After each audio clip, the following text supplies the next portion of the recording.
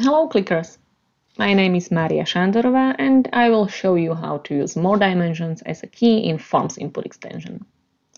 Forms is a self-service Qlik extension that enables you to insert your own inputs directly in a Qlik Sense app. As you can see, here is a Forms object that contains editable fields on a sector level. You can add some notes, checks, or dates, for example, when it's something like a task. But what to do when you want to comment a combination of sector and country? As you can see, Forms object gives you a possibility to add only one dimension. And the reason is very simple. This dimension is used as a key field when storing your edited data.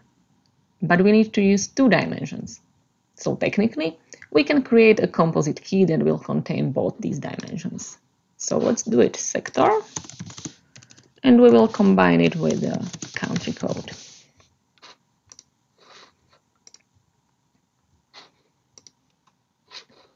Great, this is it.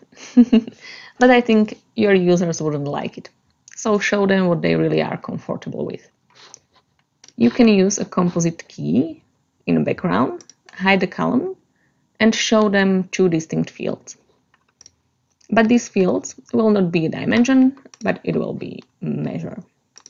So I will create a new measure with only function. Yeah, the only function is the magic. Only country code.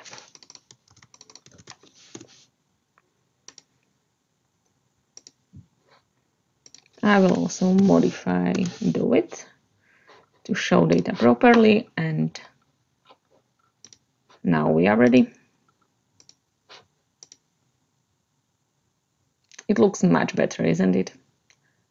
The same logic can be used when you have two different dimensions for year and month, for example, in your data model, or when you need to combine a product with a date field or responsible person or any other field. It depends only on you. Thank you for watching. Have a nice day and enjoy forms.